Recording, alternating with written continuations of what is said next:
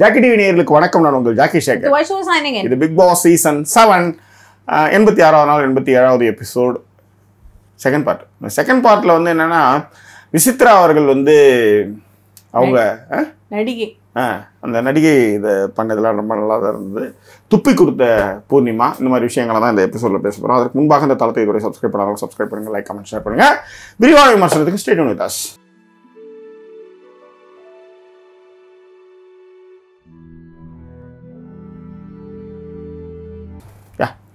So போன எபிசோட்ல என்ன பார்த்துருந்தோம் அப்படின்னா இந்த முயல் டாஸ்க் விளையாடினாங்க. ஒரு ஸ்ட்ராட்டஜிக்கலோட வந்து அவங்களும் விளையாடினாங்க. அவங்களோட ஸ்ட்ராட்டஜி வேற ஒண்ணுமே இல்லைங்க. அவங்க மூணு பேருக்குள்ளார இருக்கிற யாரையும் எடுக்கக்கூடாது கலைக்கக்கூடாது தோக்கக்கூடாது இதுதான் அவங்களோட. ஸ்ட்ராட்டஜி நல்லா புரிஞ்சுக்கங்க. இப்போ இவங்களோட ஸ்ட்ராட்டஜி என்னன்னா ஓப்பனாவே இப்போ வந்து என்ன சொல்லிட்டாங்க? அவங்க மூணு பேர் நம்ம மூணு பேர் அவங்க மூணு பேர் தொட போறது இல்ல ஸோ நம்ம வந்து நம்மளை காப்பாத்திக்கலாம் அப்படிங்கிற மாதிரியான தாட் ப்ராசஸ்ல தான் இவங்க விளையாடுறாங்க. இவங்கன்னா யார் சொல்றீங்க? அஹ் தினேஷ் அவர் பேர் என்ன சொல்றது மணி. விஷ்ணு. ஓகேங்களா? இதுல தினேஷ் தோக்கடிச்சிருவாங்க தினேஷ் சொல்லிட்டாரு ஃபர்ஸ்ட் டார்கெட் நானா தான் இருப்பேன் அப்படின்னு சொல்லிட்டாரு. அவங்களும் பேசுவாங்க மணியை தான் தூக்கணும்லாம் பேசுவாங்க. இப்போ இதுல என்ன ஆயிடுது அப்படின்னா இவங்க எது பேசினாலும் அது ஸ்ட்ராட்டஜியா மாறிடுது. ஆமா. அவங்க எது பண்ணாலும் துரோகமா மாறிடுது. ஏன்னா ஆரம்பத்துல இருந்தே ஆரம்பத்துல இருந்தே கேள்விகளை வந்து மாயா பக்கம் வந்து புள்ளிகாங் பக்கம் எந்த கேள்விகளுமே கேட்காதனாலேயே அவங்க வந்து செய்யறதுலாம் கரெக்டா போகுது. அதே மாதிரி அப்ப இவங்க இப்ப இவங்க பக்கம் பண்றது எல்லாமே தப்பா போயிடுச்சு. இன்னைக்கு அர்ச்சனா பண்றது இது என்னது? எல்லாத்தோட உச்சம்னு சொல்லுவாங்க. எனக்கு தெரிஞ்ச குரூப்ல டூப்பா மாறிட்டு வராங்கன்ற நான். உண்மையிலே குரூப்ல டூப்பா மாறிட்டு வராங்கன்னு வச்சுக்கோங்களேன். இது என்னன்னா அதாவது நீங்க எப்பயுமே ஒரு விஷயம் உங்க வாழ்க்கையில நீங்க ஞாபகம் வச்சுக்கோங்க. கெட்டவன் தெரிஞ்சதுக்கு அப்புறம் உன் கெட்டவன் தான். அவன் மாறவே மாட்டான். அவ்வளவுதான். அவனுக்கு நேரம் வருதுன்னு காத்துட்டு இருப்பான். உங்க கூட அவன் பழகிட்டு இருக்கான்னு அர்த்தம். ஒரு பெரிய பிரச்சனையில உங்களை விட்டு கொடுத்தவன் கடைசி வரையும் உங்களை வந்து எல்லாத்துலயும் விட்டு கொடுக்குவான் தான் அர்த்தம். இல்ல அன்னைக்கு விட்டு கொடுத்தான் இன்னைக்கு அவன் மாற்றி மாறிட்டான். கிடையாது. திரும்பவும் அது மாதிரி ஒரு சுச்சுவேஷன் வரும்போது கண்டிப்பா வி- விட்டு கொடுத்தோம் இது வந்து இன்னொன்னு நீங்க ஒரு ரெண்டு அதாவது ஒரு விஷயம் ரெண்டு விஷயம் மூணு விஷயத்துல நீங்க பாத்தீங்கன்னா பிரச்சனை இல்ல. ஒரு விஷயம் பண்ணாரு ரெண்டாவது விஷயம் கரெக்டா பண்ணிட்டாரு மூணாவது விஷயம் பண்ணிட்டாரு நாலாவது விஷயம் நம்பர்ல கரெக்டா நம்பலாம் தாராளமா நம்பலாம். ஆனா மனிதர்கள் என்பது திரும்ப திரும்ப தவறுகள்ல திருத்திக்கிட்டு வர்றதா பிரச்சனையே கிடையாது. ஏழு வாட்டியுமே அவங்கள வந்து போட்டு கொடுக்குறான்னு வச்சுக்கோங்களேன். நீங்க எப்படி அவங்களை திரும்ப நம்புவீங்க எப்படி அவங்க பக்கம் போவீங்க. இன்னைக்கு அர்ச்சனா பண்ணிட்டு இருக்கு அந்த வேலையை தான் பண்ணிட்டு இருக்காங்க. அவங்க என்ன நினைச்சிட்டு இருக்காங்கன்னா ஹாப்பி மூமெண்ட்ல இருக்கிறோம். நம்ம ரொம்ப நியாயமா நடந்துக்கிறோம் ரொம்ப நேர்மையா நடந்துக்கிறோம் ஆனா அர்ச்சனா கேட்ட கேள்விகள்லாம் கரெக்டு தான். எஸ் அதாவது அதை நீங்க சத்தமா கேட்டிருக்க வேண்டிய அவசியம் இல்லைன்னு நான் சொல்லுவேன். இல்லைங்க இப்ப அர்ச்சனா கேட்ட கேள்விகள் தான் கரெக்ட் தான் அப்படின்னா நீங்க ஏன் அவங்களுக்கு சப்போர்ட் பண்றீங்க நீங்க கேட்கவே கூடாது. அதுதான். கொடுக்குறீங்க ஏன் இந்த தினேஷ் ஏன் நீங்க வந்து அவுட் ஆகுற மாதிரி விளையாண்டீங்கன்னு கேட்டா அது நியாயம் இருந்தது. ஆனா என்னன்னா அவங்க அவரை காலி பண்ணணும்னு விளையாடுறாங்க. இதுல இப்ப ஏன் ஏன் இதை வந்து நான் சொல்றேன் அப்படின்னா இப்ப அப்படியே நீங்க என்ன ஜெகி சொல்லுங்க அப்படியே மாத்தி மாத்தி தான் பேசுறோம். மாத்தி மாத்தி. நான் லீனியர்ல பேசுறோம் non-linear ஆ லீனியரா பேசுறோம் நான் லீனியர்ல ஏன் இதை சொல்றேன் அப்படின்னா ரெண்டு விஷயம். ஒண்ணு வந்து கேம் எல்லாம் முடிஞ்சதுக்கு அப்புறம் தினேஷ் வந்து எக்ஸ்பிளைன் பண்ணுவார் அர்ச்சனா கிட்ட. வெளியில கார்டன் ஏரியால தினேஷ் விஷ்ணு அர்ச்சனா மூணு பேர் இருக்கிறப்ப. தினேஷ் சொல்வாரு ஏமா அந்த ஸ்ட்ராட்டஜிக்கலா நீ யோசிச்ச அப்படின்னா. அவங்க என்னதான் வந்து தூக்கணும்னு முடிவு பண்றாங்க. நான் இருக்க கூடாதுன்னு நினைக்கிறாங்க அப்ப நான் யார் இருக்க அதாவது எலிமினேட் யார பண்ணணுங்கிறதான இந்த கேமே அப்ப நான் இருக்கிறது இருக்க இருக்க கூடாதுன்னு அவங்க நினைக்கிறப்ப நான் யார் இருக்கணும்னு நினைக்கிறதுல என்னமா தப்பு இருக்கு அப்படின்னு கேட்பாங்க. ஆமா. அப்ப அர்ச்சனா உடனே எப்படி சொல்லுவாங்க? இல்ல அது எனக்கு புரியுதுன்னா ஆனா நீங்க வந்து என்ன நீ எடுக்கிறல்ல அடுத்து பாரு நான் ரோஸை தான் தூக்குவேன்னு சொன்னீங்கல்ல சத்தமா? அப்ப அவங்க உஷாராயிடுறாங்கல்ல அப்ப நீங்க இருக்கவே கூடாதுன்னு தானே அவங்க முடிவு பண்றாங்கன்னு இருந்தாலும் இப்ப அவங்க இந்த ஸ்மால் பாஸ் டீம்ல வந்து அவங்க எல்லாருமே போடுற பிளானே என்னன்னா தனித்தனியாக விளையாடா நாங்களும் தனித்தனியாக விளையாடிருப்போம். நீங்கள் எப்போ கும்பலாயிட்டீங்களோ உங்களது நீங்கள் கலைக்காம பா பாதுகாத்துக்கிறீங்களோ அப்போ நாங்கள் ஒன்றா சேர்ந்துக்கிறோம் அப்படின்றது தான் இதில் இன்னொன்று தினேஷுக்கு தெரியும் நம்ம எப்படியா இருந்தாலும் தோத்து போகிறோம். தோத்து போகிறதுக்கு முன்னாடி என்னென்ன முடியுமோ அதை நான் செய்கிறேன் அப்படின்றார் அவரு. தோத்து எட்டனதுக்கு அப்புறமும் அவங்களுக்கு நான் விஷயங்கள் நான் செய்யறேன்றார் அவரு. தட்ஸ் ஆல் இது என்னன்னா அவர் கரெக்டா சொல்லுவார். அதை நான் கூட சொன்னேன். நானும் ஜாக்கியும் பார்த்துருக்கும் போது அர்ச்சனா கேட்கறது கரெக்ட் தானே அப்படின்னு ஜாக்கி தான் சொன்னாங்க. அவர் அதை சொல்ல வரல. எப்படி இருந்தாலும் நான் தோத்துருவேன். இப்ப நான் வந்து அவங்கள வாய விட்டு நான் ரோஸை தூக்குறேன்னு சொல்லலைனாலும் அவங்க என்னதுதான் எடுப்பாங்க. ஏன்னா விசித்ராவோட தாட் ப்ராசஸே அதுதான். அப்படி இருக்கும் பட்சத்துல நான் என்ன தூக்கணும்னு அவங்க முடிவு பண்ணும்போது யார் இருக்காங்களோ நான் அவங்களுக்கு அப்ரிஷியேட் பண்ணா உனக்கு என்னமா அப்படிங்கிறாங்க. இப்ப. நான் எதுக்கு இது அர்ச்சனாவை சொல்ல வந்தேன்னா இப்ப இந்த இடத்துல தினேஷ் நீங்க கேட்டீங்கல்ல. ஆமாண்ணா நீங்க சத்தமா சொன்னீங்கன்னு சொன்னீங்கல்ல அதே விஷயத்த உள்ள விஷ்ணு கிட்ட விசித்ரா எல்லாத்தையும் கேட்டு குடுகுடுன்னு ஓடி வந்துருவாங்க. ஸ்மால் பாஸ் வீட்ல இருந்து திருப்பி பிக் பாஸ் வீட்டுக்கு வந்து எனக்கு வந்து விஷ்ணு கேட்டதுல ஒரு விஷயம் நியாயமா பட்டது. என்னன்னா நீ வந்து அவனை சொல்ற இல்ல மனித காப்பாத்துறான்னு. அப்ப விக் நிக்சன் வந்து எல்லாமே கோட்டையில பாதி கலைஞ்சு முயல் வெளியில இருக்கும்பொழுது நீ ஏன் அவன் முயலை எடுக்காம மனித கலைச்சன்னு கேட்பாங்க. உடனே பூர்ணிமா சொல்லுவாங்க அதுதான் மேம் கேமே முயல் எடுக்கிறது கேம் இல்லையா? முயல் எடுக்கிறது கேம் இல்ல. யார வந்து நம்ம வந்து நம்ம இல்லாம இருக்கணும்னு நினைக்கிறோமோ இதுதான் கேம்ன்றப்ப உண்மையிலேயே விசித்ரா வந்து குரூப் குரூப்ல டூப மாறிட்டாங்க. அவங்களுக்கு கேமே தெரியல. எனக்கும் தெரியல.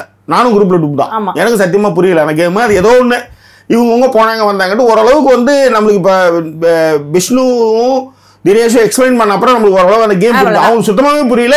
அப்ப வந்து அதை வந்து எடுக்க வேணாம்னா அதை வந்து நம்ம இவரு டைட்டில் வின்னருக்கு பேர் என்ன? ஃபர்ஸ்ட் ஸ்டார் கொடுத்தாரு. விஜயவர்மா.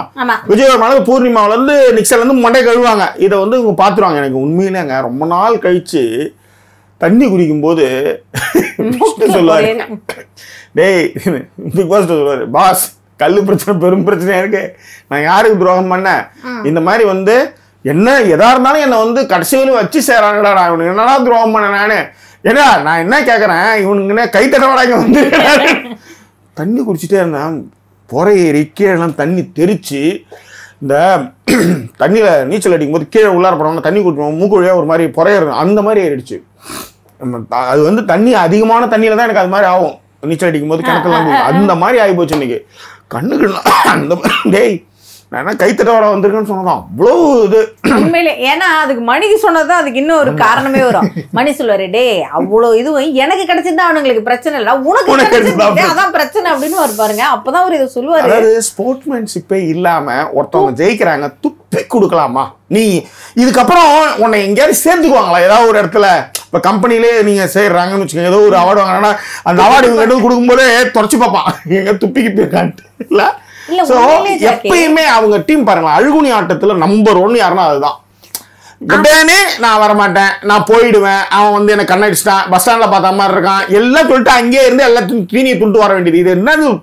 போனா அவ்வளவு. பாவா நம்ம பிக் பாஸ் நான் கிளம்புறேன். டீ ஏழு மணிக்கு சொன்னாரு. பதினோரு மணி வரையும் ஒத்த கண்ணை வச்சு செஞ்சு அனுப்பிச்சாப்ல. அந்த மாதிரி கிளம்பணும் ஒத்த காலம் நீ கிளம்ப. ஏங்க நான் என்ன கேக்குறேன்? ஆ. இப்ப ஒரு பாதுகாப்பு இல்லாத இடத்துல எதுக்கு நீங்க கலையை வளர்க்கணும்? எதுக்கு நீங்க வந்து கம்யூனிட்டி வளர்க்கணும்ன்ற நானு. ஆமா. அப்படி வளர்த்து என்ன பண்ண போறீங்கன்னு கேக்குறேன் நானு.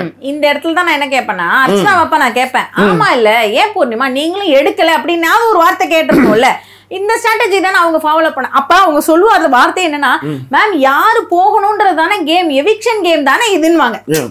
அப்ப எவிக்ஷன் கேம் தானே இவங்க இவங்க நல்லா இதுக்கப்புறம் இங்க எல்லாம் சொன்னதுக்கு அப்புறம் அங்க போய் விஷன் கேம்னு அதை அங்க சொல்லுதுன்னு வச்சுக்கோங்களேன். இது இது இதனுடைய வாய் தான் அதுக்கு சனிய நிஜமாலுமே நான் சொல்றேன் உண்மையிலே வந்து இதுக்கப்புறம் வந்து உண்மையிலே சொல்லுங்க. அர்ச்சனா வந்து நான் அந்த இடத்துல ஏன் கேட்கலன்னு கேட்கறேன் ஜாக்கி. இது நீங்க கேட்கற பாயிண்ட் ரைட் இதுக்கப்புறமா அவங்க எவிக்ஷன் கேமை பத்தி பேசுனாங்கன்னா அதுக்கு தான் கரெக்டா வந்து தினேஷ் சொல்வாரு. இது இந்த அம்மா விளையாடி இருக்கட்டும். ஆமாம்மா அதுதான் பூரா பேசும் இத பத்தி. ஏன்னா அவங்க மணியும் ரவீனாவையும் போயும் பேசுவாங்க. பேசுவாங்க மணி ரவீனா தான் சொல்லுவாங்க ஏன்பா அவங்க அவங்கள அப்ப ரவீனாவை டார்கெட் பண்ணி தூக்குனது கேம் இல்லையா? அப்படின்னு கேட்பாங்க. இப்ப இவங்களுக்கு என்னன்னா இவங்க அதாவது இந்த குரூப்போட வந்து இவங்க வந்து போயிட்டாங்க. விசித்ரா அவங்க வந்து டோட்டலாவே அங்க சரண்டரு இப்போதைக்கு அந்த குரூப் வந்து அதிகமா இருக்கிறதுனால அங்க வந்து இவங்களும் வந்து அவங்க வந்து இப்ப அந்த மெயின் பாஸ்ல இருக்கிறதுனால அவங்க அந்த கதையை பேசிட்டு இருக்காங்க. இல்ல இவங்க வாயே அவங்களுக்கு வந்து மாட்டுவாங்க இல்ல பாருங்க அததான் ஜாக்கி. இன்னொன்னு நான் சொல்ல வரேன். இப்ப இதுக்கு இன்னொரு ஒரு காரணமும் நான் சொல்றேன் அர்ச்சனா பத்தி. இப்ப அடுத்த வாரம் நாமினேஷன் எல்லாருமே நாமினேட்டா இருப்பாங்க. ஏன்னா வந்து எல்லாருமே யாரும் யாரையும் நாமினேட் பண்ண வேண்டாம். எல்லாருமே நாமினேஷன்ல இருப்பாங்க. அப்ப இனிமே வந்து நாமினேட் பண்ணா என்ன நாமினேட் பண்ணலாம் என்ன நான் அடுத்த வாரம் வரையும் இருந்துருவேங்கிற மாதிரி தானே இருக்கு. அடுத்த வாரம் வந்துடுறேன் இப்போ நான் யோகியம் பேசுறேன். அதேதான். அடுத்த வாரம் வரையும் நான் எனக்கு பிரச்சனை கிடையாது. அடுத்த வாரத்துல இருந்து எல்லாமே போகும்போது நான் வந்து பேசுன்றது எந்த வகையில் நியாயம். அதுதான். ஏன்னா. இன்னொன்னு இந்த குரூப்போட ஸ்ட்ராட்டஜி எப்படி இருக்குனாங்க பூர்ணிமா ஆரம்பிப்பாங்க எப்படி தெரியுமா விளையாடுறாங்க? ஒருத்தவங்க பேசுனா பிரச்சனை இல்லை. இப்போ இந்த சைடில் ஸ்மால் பாஸ்ல விஷ்ணு பேசுறாரு தினேஷ் பேசுறாரு. அதுக்கு அடுத்தது யார் பேசுறா? மணி பேசுவாப்ல. மணி பேச மணி பேசும்போதே அப்படின்னு சொல்லி காட்டத்தை கலைச்சிடும் அதாவது சொல்ல வந்த கருத்தை சொல்ல விடாம பண்ணி விடும் ரவி. ரவி. புரியுதுங்களா ஆனா அந்த பக்கம் பிக் பாஸ் வீட்ல தெளிவா தெளிவா நிக்சன் அப்படி எழுந்து தினேஷ் எழுந்து இருந்தாக்கமா நான் உங்கள சொல்லல அவங்கள சொன்னேன். நீங்க நல்லா கவனிச்சா அந்த சீன் நீங்க எல்லாம் பாருங்க. நீங்க ஏன் வரீங்க? அப்படின்ற மாதிரி குதிப்பாப்ல. நிக்சன் தினேஷ் என்ன பண்ற? நாங்க நீ பேசிட்டு இருப்போம் நாங்க சும்மா போனோமா நான் உங்களை சொல்ல அவங்கள சொன்னேன். இந்த அளவுக்கு பேசக்கூடிய ஆளா அதாவது ஒரு இந்த இதெல்லாம் ட்ரெயின் பண்ணணும் தெரியுமா? டாக்ஸ் இந்த இதுல துப்பறியறதுக்கு. அது போனா கரெக்டா அது வந்து இதான் ஃபர்ஸ்ட் அதுதான் அனுப்புவாங்க என்ஐ என்ஐ என்ஒய்பிடி எல்லாம் நீங்க பாத்தீங்கன்னா பாம்பு இருக்கிற இடத்துல இதுதான் போய் பார்க்கும். செதறிச்சுனா அது செதறிட்டு போட்டு நம்ம இங்க சேஃப் பண்றது பண்றதா அங்க மேட்ரு ஸோ அந்த மாதிரி ஒரு ட்ரெயின் பண்ணி வச்சிருக்காங்க ஆக்சுவலி எதா இருந்தாலும் இவர் தான் போய் முதல்ல மோதுறதே அவர் தான் இப்ப கூட இவர் ஜெயிக்கிறதுக்காக இல்ல. மாயாக்கா ஜெயிக்கலையே அப்படின்றதுதான். ஏன்னா மாயாக்கா அவருடைய எல்லாம் பாராட்டுறாங்க ஹக் கொடுக்குறாங்க எல்லாம் பண்றாங்க. இதை வந்து யார் செய்வா இதை? மாயாக்க பாராட்டுறதை விட மாயாக்க நோ சொல்லிட்டா விஷ்ணு கிட்ட அவங்க பேசாம இருக்கிற மாதிரி தன்னோடய அவங்க இப்படி ஆட மாட்டாங்க. ம். ஆடலைன்னா இவர் என்ன பண்ணுவாரு? அவ்வளவுதான் முடிஞ்சு போச்சு. இது ஒண்ணு. இது ஒண்ணு. ரைட்டா? இப்ப அந்த வீட்ல மாயா? முதல்ல பேசுறது யாரு? மாயா உடனே வரமாட்டாங்க ஃபர்ஸ்ட் ஃபர்ஸ்ட் எடுத்துமே நிக்சன் தான். அடுத்தது பாத்தீங்கன்னா பூர்ணிமா. Next stage Purnima. ஆரம்பத்துல இருந்து பூர்ணிமா. மூணாவதா தான் மாயா வருவாங்க. ஆனா மாயா மாயாவும் வருவாங்க. அதே மாதிரி அடுத்தது விஜய் வர்மா வராரு வருவார் அந்த So, விசித்ரா? நாலு நான் விசித்ராவை விடுங்க. அவங்க தான் கேமே புரியல. நாலு பேருமே கரெக்டாவே பேசுவாங்க. அதாவது விசித்ரா அர்ச்சனா நம்ப வைக்கிற மாதிரி பேசுவாங்கன்னு சொல்ல வரேன் நான். அததான் ஜாக்கி சொல்ல வந்தேன். இப்ப நாலு பேராவது கேம் தெரிஞ்ச நாலு பேர் கேம் தெரிஞ்சு பேசுவாங்க. விசித்ரா எப்படின்னா இவங்க சொல்றதை கேட்டு வந்தே இவங்க வந்து இவங்களுக்கு சப்போர்ட் பண்ணி பேசுவாங்க. அதேதான். அந்த மாதிரி விஷயம் அங்க வந்து அதை வந்து காலி பண்ணிட்டு அங்க மூணு பேர் தான் அங்க கொஞ்சம் ஸ்ட்ராங்னு வச்சுக்காங்க இந்த மாதிரியான ஒரு சுச்சுவேஷன் இதுல ஒரு கிளிப்பு பார்த்தேன். இவங்க இந்த நிக்சன் அவன் வந்து என்ன தெரியுமா சொன்னா நீ வந்து உங்ககிட்ட யாரும் லவ் ப்ரொபோஸ் பண்ணலையா? அப்படி இப்படிலாம் வந்து கேட்டாங்க. நீங்க செம்மையா இருக்கிறீங்களா திரும்ப பாராட்டி இருக்காப்ல போல ஒரு நிக்சன் அதையும் வந்து உங்க பெருமையா சொல்லுவாங்க மாயா கிட்ட. ஓகே. புரியுதுங்களா? சரி அதை விடுங்க. அதில் வந்து ஏன்னா கேமரா வச்சா இப்போ ஒவ்வொருத்தவங்க ஒன்று ஒன்று பேசுவோன்ற மாதிரி போனாலும் கூட ஒரு பையனை வந்து நீங்கள் வந்து யூஸ் பண்ணிட்டு இருக்கீங்கன்றது தெரியுது. வேற ஒன்றும் கிடையாது. ஒரு பையனை நீங்கள் ரெண்டு பேரும் ரொம்ப கிளவரா அந்த பையனை வந்து யூஸ் பண்ணிட்டு இருக்கீங்க அவனை ஏற்றி விட்டுட்டு இருக்கீங்கன்றது அங்கே நம்ம பார்த்த விஷயம். இது ஒன்று ஏன்னா அந்த பையனை இவங்க போன ரெண்டு வாரத்துக்கு முன்னாடி நிக்சனை தூக்குறோம் அப்படின்னு பேசிட்டு இருந்தாங்க. விசித்ராவே தூக்கி அவங்க ஃபைனல் நிற்கணும் நாங்கள் எந்த வாரம்? அவ்வளவுதான். அதுதான் மேட்ரு சரி இருங்க. அடுத்து விசித்ரா வரும் நான் கேட்குறேன் விசித்ரா மேடத்துக்கிட்ட ஒன்று தான். துப்பி கொடுத்தத ஒருத்தவங்க வந்து பெருமையா சொல்றாங்கல்ல. நீங்க ஒரு அம்மா மாதிரி தானே. எல்லாருக்குமே அம்மா நான் வந்து பெரியவங்க நான் சொல்றது எல்லாருமே கேட்கணும்னு சொல்றீங்கல்ல.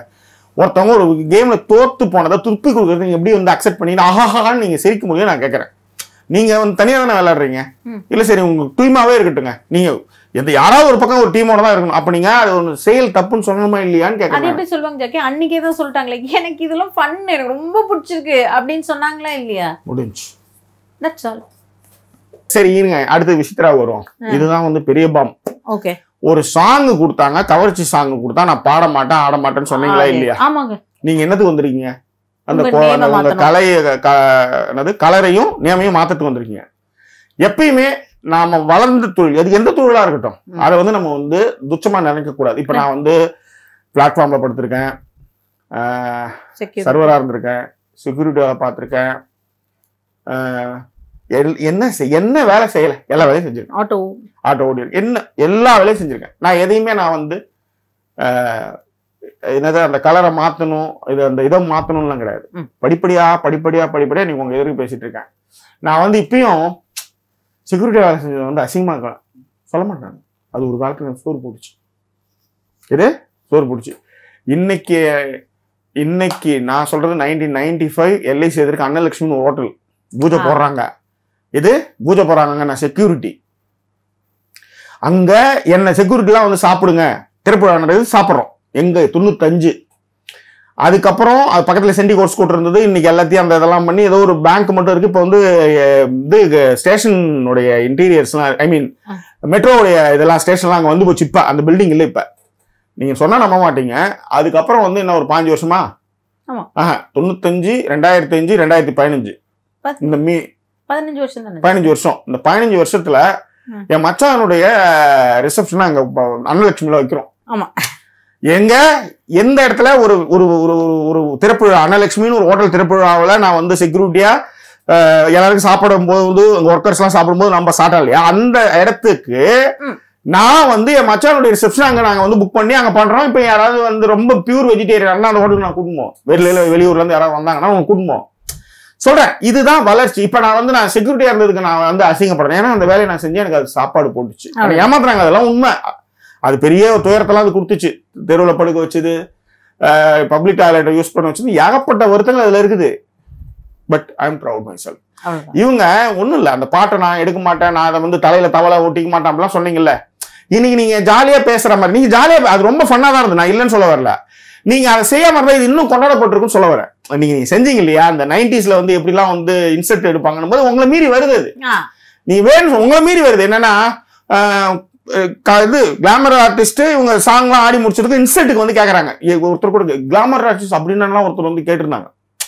ஏன்னா அவங்களாம் ரொம்ப அதாவது என்ன சொல்றது அவங்களாம் அந்த வார்த்தையெல்லாம் கேட்டதே கிடையாது இல்ல சோ அந்த மாதிரிலாம் கேட்டிருந்தாங்க. அப்போ சொல்றேன். இவங்க வந்து அந்த இன்ஸ்டெட்டுக்கு வந்து என்ன செய்வாங்க? டான்ஸ் மாஸ்டர் சொல்லுவாங்க. அம்மா லிப்ஸ் மூமெண்ட்மா அப்படின்றது. செஸ்ட் மூமெண்ட்னா இப்படி இப்படி இப்படி பண்றது. அதெல்லாம் வந்து அவங்க ரொம்ப கேஷுவல் பண்றாங்க. இதுல எந்த அம்மா நடிகை இதெல்லாம் செஞ்சிருக்காங்க.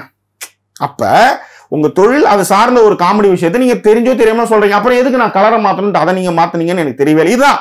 எல்லாமே முன்னுக்கு பின் முரணாவே இருக்குன்னு சொல்ல வரேன். அதுக்காக சொல்றேன். இல்ல அந்த கலரை மாத்தணும்னு சொல்றப்ப நீங்க. வேற ஏதாவது ஒரு விஷயத்திற்காக நான் இப்ப அதனால தாங்க இப்ப முன்னாடி நடிச்சீங்க போனீங்கன்றதெல்லாம் ஓகே நீங்க அதை தான் சொல்றேன். நீ நம்ம நீங்க என்ன செஞ்சாலும் நம்ம முன்னாடி செஞ்சது அது நம்மளுக்கு தெரி வந்துரும்னு சொல்ல வரேன் இன்னைக்கு வரையும் நான் தங்கப்பன் மாஸ்டர் கிட்ட டான்ஸ் பண்ணேன். தங்க இவரு டான்ஸ் மாஸ்டரா இல்ல.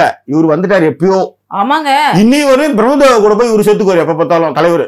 நானும் தங்கப்பன் மாஸ்டர் கிட்ட டான்ஸ் மாஸ்டரா இருந்தா அங்க இருந்தா அசிஸ்டண்டா இருந்தா நான் ஆட வச்சேன் போட வச்சேன். நானும் பிரபுதாலும் வரல அப்படின்ற மாதிரி டப்புன்னு அவரு கூட போய் செத்துக்குவாரு. ஏஜ் குரூப் தான் ஜாக்கி. யோசிச்சு பாருங்க. சொல்றேன். அந்த மாதிரி சரி இவங்க அதுக்கு சொன்னதுக்காக நான் சொல்றேன். இல்ல எதற்கு அதை வந்து இன்னும் பாயிண்ட் அவுட் பண்ணி சொல்லணும்னு நினைச்சேன்னா. நான் ஒரு டான்ஸுக்கே ஆட மாட்டேன். இந்த பாட்டை நான் எனக்கு இந்த பாட்டை எனக்கு ஆடவே பிடிக்கல பிடிக்கல. அப்படின்னு நீங்க. அப்ப நீங்க உங்களை அறியாமல் ஒரு விஷயம் செய்யும் பொழுது இப்ப நீங்க இப்ப எப்படி ஆயிடுதுன்னா நான் கேஷுவலா பண்ணீங்கன்னா அது கரெக்ட் ஆயிடுது. ஒரு பாட்டு போட்டா அதை வந்து நீங்க வந்து அது ஒரு கண்டென்ட்டா எடுத்துட்டு வரும்போது தான் அது பிரச்சனை ஆகுது வேற ஒண்ணும் இல்ல. இது ஒண்ணு. அடுத்தது வந்து தினேஷ் மேட்ருக்கு தினேஷுடைய பர்சனல் லவ்க்கு வருவாங்க. திரும்பவும் வராங்க. இதுதான் எனக்கு அதாவது தினேஷ் அங்க உட்காந்தாலே என்ன வந்து டேமேஜ் அதாவது இவங்களா தான் தினேஷ் எட்டு வராங்க. தினேஷ் நீ அதாவது எல்லாரும் தினேஷ் வந்து எப்ப பார்த்தாலும் விசித்ரா தான் அங்க அறுபத்தி நாலு கேமரா இருக்கு. யார் பேசுறதை காமிக்கலாம் யார் பேசுறதை காமிக்க கூடாதுன்னு முடிவு. பண்றது அந்த வீட்டோட விஷயம் எப்ப பார்த்தாலும் உங்களுக்கு காமிக்கிறது அதுதான். நீங்க அதிகப்படியான ஒரு கோவத்தை ஒரு மேல எட்டு வரணுன்றது தான் மேட்ரு சோ அவர் வந்து பேசுறாருன்னு சொல்றாங்க. இப்ப இவங்க பேசுறதையும் காமிக்கிறாங்க நீங்க காமிச்சாங்க. இவங்க எட்டு வராங்க. ஏன்னா அது சின்ன வீடுங்க. நீங்க எப்படியாவது யாரோ ஒருத்தவங்க பத்தி ஒருத்தவங்க பேசிதான் ஆகணும். சோ அவங்க சொல்லுவாங்க தினேஷ் வந்து தினேஷ் வந்து எப்ப பார்த்தாலும் என்ன டேமேஜ் பண்ணிட்டே இருக்கிறாப்ல என்ன நீங்க கூட தான் வந்து அவரு தோத்தாருல. நான் தோத்து அவரு தோத்துட்டாருல அப்படின்றீங்கல்ல. அது மாதிரிதான் அதுவும். இவங்க அதை எப்படி எடுத்து வருவாங்கன்னா அவருக்கு வந்து ஒரு உண்மையான லவ்வே எனக்கு என்ன தெரியுதுன்னா. அவருக்கு வந்து ஒரு உண்மையான லவ்வே கிடைக்கல. அப்படியே கிடைச்சாலும் அதுக்கான ரெக்கக்னேஷன் அவர் பண்ணல. அப்படின்னு சொல்லும் போது மாயா ஒரு விஷயம் அப்பெல்லாம் சொல்லாதீங்க மேடம் இல்ல அப்ப கூட பேசாம இருப்பாங்க. இது எப்படின்னு எப்பவுமே பேச விடுவாங்க அவங்க. ஒரு ஒரு அந்த மாதிரி நான் நினைக்கிறேன். இன்னொரு ஒரு என்ன அப்ப உடனே யார் நிக்சன் கத்தம் அப்படின்னு அப்படின்னு சொல்லி விட்டுறது. சொன்னதுக்கு அப்புறம் தான் வந்து எல்லாத்தையுமே நீ நடிக்கிற நடிக்கிறேன்னு பார்த்தன்னா ஹி டசன்ட் டிசர்வ் பியூர் லவ்னு வாங்க இது சொன்ன உடனே தான் டக்குன்னு மாயா அப்படி சொல்லாதீங்க அப்படி. மாயா அப்படி சொல்லாதீங்கன்னு உடனே நிக்சன் வந்து? அப்படிலாம் சொல்லாதீங்க ஏன்னா அது வந்து ஒரு கீவேர்டு மாதிரி அது. மாயா டக்குன்னு எதிர்த்து நம்மளும் எதிர்த்துடணும் அது ஒரு சேஃப்டியான அது ஸ்டைல்ல இருந்து. உடனே நிக்சன் அப்படி. சொல்லாதீங்க அவருக்கு வெளிப்படுத்த தெரியல சொல்லுங்க பட் கிடைக்காது நீங்க சொல்லாதீங்க. நீங்க சார் ஃப்ரெண்ட்ஸ் சர்க்கிளே நீங்க வந்து யாராவது நக்கல் விடுறீங்கன்னு வச்சுக்கோங்களேன் அது ஒரு எக்ஸ்ட்ரீம் போகும்போது ஒருத்தன் சொல்லுவான் மச்சான் இதுக்கு மேல வேணாம் அப்படின்னுவான். ஆ, ஏய் ஆமாண்டா ஆமாண்டா. அது வரையும் எல்லாம் சிரிச்சிட்டு இருப்பானுங்க எல்லாம் பண்ணுவானுங்க. அவன் வந்து அதை கமெண்ட் இதை கமெண்ட் அந்த கமெண்ட் மச்சிருந்துச்சு எல்லா லெவலும் போவானுங்க. அடுத்தது அப்படியே வந்து டக்குன்னு அப்படி இப்படி மூணு நூல் பிடிச்சிட்டே வந்து இவன் தங்கச்சி பத்தி பேசும்போது டக்குன்னு ஒருத்தன் சொல்லுவான் ஏய் அது வேணாம்டா. அப்ப அப்ப அப்படி. அந்த மாதிரி தான் இது வந்து மாயா அப்படி வந்து நான் விசித்ரா அவருடைய பியூர் லவ் பத்தி நீங்க சொன்னீங்களாமே பேசுனீங்களாமே அப்படின்னு கேட்டாங்கன்னு வச்சுக்கோங்க. சார் நான் அப்பயே வேணாம்னு சொல்லிட்டேன் சார். உடனே நீங்க சார் நானும் சார் நானும் அப்பயே சொன்னேன் சார். இன்னொரு லவ் வந்து சொல்ற தப்பு சார் அப்படின்றதுக்கா? தான். இன்னைக்கு அதே மாதிரி நிக்சன் இன்னொரு ஒரு விஷயமும் பண்ணுவாரு. தினேஷ் கிட்ட வந்து ஃபர்ஸ்ட் சண்டே எப்படின்னா தினேஷ் கிட்ட தான் ஆரம்பிப்பாரு. ம். நீங்க எல்லாம் என்னத்துக்கு ஒரு ஒரு தனியா ஒரு கேம் விளையாடினா பிரச்சனையே இல்ல. எல்லாரும் சேர்ந்து கேம் விளையாடுறீங்கன்னா இதுக்கு இதுக்கு எதுக்கு நீங்க ஸ்டார் வாங்கணும்ன்ற எனக்கு இந்த டைட்டில் இது வந்து இவரும் சொல்வாரு பூர்ணிமாவும். எனக்கு இந்த டிக்கெட் ஃபினாலே வேணாங்க. ஆனா அவன் போக கூடாது என்ன நீங்க? அவன் இப்ப அவன் இவன் பேசலாம் நீங்க. இன்னொன்னு சரி இது நிக்சன் விஷயத்துக்கு வந்துடும் இல்ல அது நிக்சன் அவங்க ஆடி முடிச்சதுமே வந்து விஷ்ணு பார்த்தாலுமே அவங்க கொஞ்சம் மாதிரி மூட் ஆஃபா தான் இருந்தாங்க அவங்க. ஆமா நீ விஷ்ணு பார்த்த அரை மணி நேரம் மூட் ஆஃபா இருந்துட்டு அதுக்கப்புறம் என்ன ஜாக்கி. இருந்தாலும் ஏஜ் டிஃபரன்ஸ் இருக்குது அதுக்கப்புறம் டார்ச்சர் எது- எப்படி இப்ப மீம்லாம் எப்படி வருதுன்னா. ஃபர்ஸ்ட் வந்து ஐஷு இவங்கள அண்ணா தம்பி அப்படின்னாங்களாம் தம்பி தம்பின்னு ஐஷு கூப்பிட்டாங்களாம் ம். அதுக்கப்புறம் வேற ஒரு கேம் ப்ளே பண்ணாங்க. இப்ப நிக்சனும் பூர்ணிமா இந்த கேம் ப்ளே பண்றாங்க. இப்படி இந்த பக்கம் இவங்க ரெண்டு பேரும் இந்த பக்கம் இவங்க ரெண்டு பேரையும் போட்டு போ- காட்டிட்டு இல்ல அதான் நான் தான் முன்னாடியே சொன்னேன் அந்த பையனை வந்து எமோஷனலா வந்து அதாவது என்ன பேச விட்டு வேடிக்கை பாக்குறது நிக்சன் என்ன சொல்லுவாரு எனக்கு வந்து விளையாட கிடைக்கல. நீங்க எல்லாம் வந்து ஸ்ட்ராட்டஜி பண்ணி பிளான் பிளான் பண்ணி அப்பதான் தினேஷ் சொல்லுவாரு என்ன ஸ்ட்ராட்டஜி பண்ணிட்டாங்க. நீங்க இப்ப மூணு பேர் இருக்கீங்க மூணு பேர் நீங்க ஸ்ட்ராட்டஜி பண்ணவே வேணாம். ஆனா மாயா போய் கண்டிப்பா பூர்ணிமாவோட கலைக்க மாட்டாங்க. நீங்க போய் கண்டிப்பா மாயாவோடதையும் பூர்ணிமாவோடதையும் கலைக்க போறது இல்ல பூர்ணிமாவும் நிக்சந்தையும் மாயாதையும் தொட போறது இல்ல இப்ப இது சொல்லிக்காம நீங்க ஒரு விஷயத்த பண்ணும்பொழுது சொல்லிட்டு பண்றோம். அவ்வளவுதானே? இது எப்படி வந்து தப்பாகுன்ற மாதிரி அவரு இவர் வந்து பயங்கரமா பேசுவாருங்க. இதெல்லாம் ஒரு கேமா. எப்படி நீங்க கமல் சார் உடனே கமல் சார் என்ன சொன்னாரு? அன்றே சொன்னாரு அப்படின்ற மாதிரி உடனே வந்து அப்பதான் வந்து தினேஷ் நீங்க சொன்ன மாதிரி என்ன இப்ப? அப்படின்னு எழுந்த உடனே உங்களை சொல்ல நான் உங்களை சொல்லனா நீ. உடுனா நீ உடுனா நான் ரவீனாவை பேசுறேனா? அப்படின்ட்டு மாத்திடுவாரு. இவங்க எல்லாரும் மாத்துனதுக்கு அப்புறம் தான் வந்து திருப்பி நைட்டு வந்து. அர்ச்சனா இந்த மாதிரி விளையாடினா எப்படி அப்படிங்கிற மாதிரியான ஒரு விஷயத்த வந்து நம்ம தினேஷ் எடுத்துட்டு வருவாப்ல. இவர் கூடவே வந்து இவங்க வந்து அது பெருமையா சொல்லுவாங்க ஜாக்கி பூர்ணிமா. விசித்ரா கேட்பாங்க அவங்கள்ட்ட நீ என்ன நான் ஏங்க நான் விசித்ராட்டே விசித்ராட்டே இவங்க சொல்லிருப்பாங்க ஆமா. நீங்க எடுக்காதீங்க தினேஷ் இதே எடுக்காதீங்க தினேஷ் தான் சொன்னாங்களாம். அப்ப அது ஸ்ட்ராட்டஜி கேம் இல்லையா. அப்ப விசித்ரா சொல்லுவாங்க அப்ப நான் நீ நான் தினேஷ் இதை எடுக்கக்கூடாதுன்னு அப்ப நான் என்ன பண்ணியிருந்திருக்கணும்? அப்படின்வாங்க. நீங்க மனித கலைச்சிருக்கணுங்க. அப்படின்வாங்க அப்ப அப்ப கூட மாயாத கலைச்சிருக்கணும்னு வராது.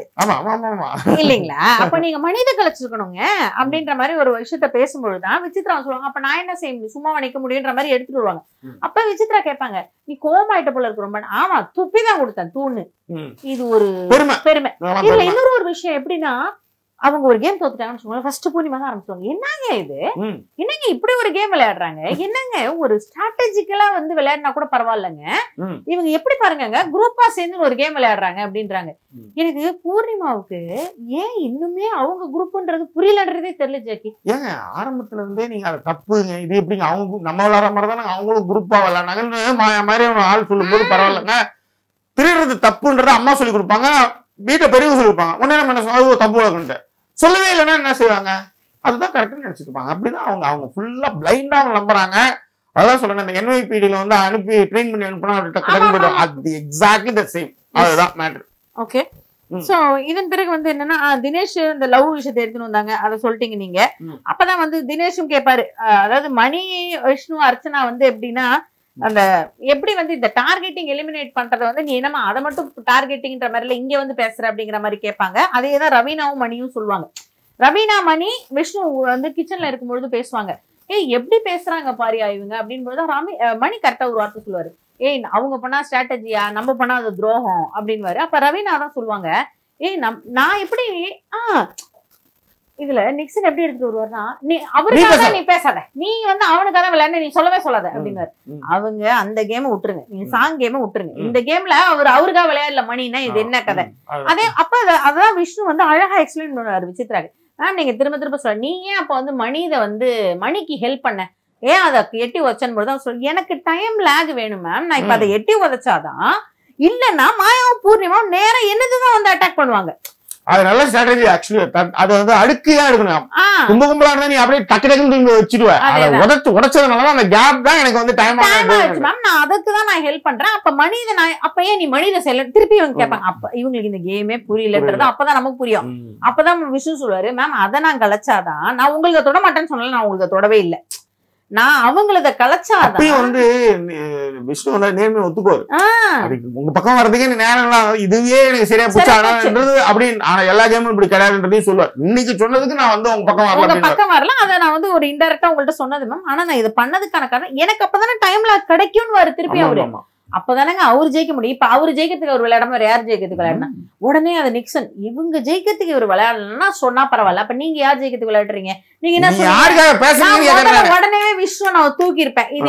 என்னது அதுதான் இதுல நீங்க நல்லா கவனிச்சு பாருங்களேன். மாயா யார் கேமே நான் விளையாடுறேன்னு சொல்லவே மாட்டாங்க. ஏன்னா அவங்களுக்கு தெரியும் அவங்களுக்கு வந்து இவங்க ரெண்டு பேரும் தொடவே மாட்டாங்க. ஏன்னா அது மாதிரி இப்ப கூட சண்டை வந்து என்னன்னா அவங்க தோத்துட்டாங்களேன்றதுக்காக சண்டை அதேதான். இவங்க தோத்ததுக்கு ஒருத்தவங்க துப்பி கொடுத்துட்டாங்க. இன்னொருத்தர் வந்து ஒன்லி டீம் கேம் அப்படின்றது ரிஜிஸ்டர் பண்ணாரு. அவ்வளவுதான். all. முடிஞ்சிச்சு. இதுதான் வந்து இந்த எபிசோட்ல வந்து பண்ணிட்டு இருந்தாங்க. கடைசியாக வந்து விஷ்ணு வந்து எல்லா முயலையும் வந்து பெற்று அவருக்கு வந்து மூன்று ஸ்டார்கள் கிடைக்கும்.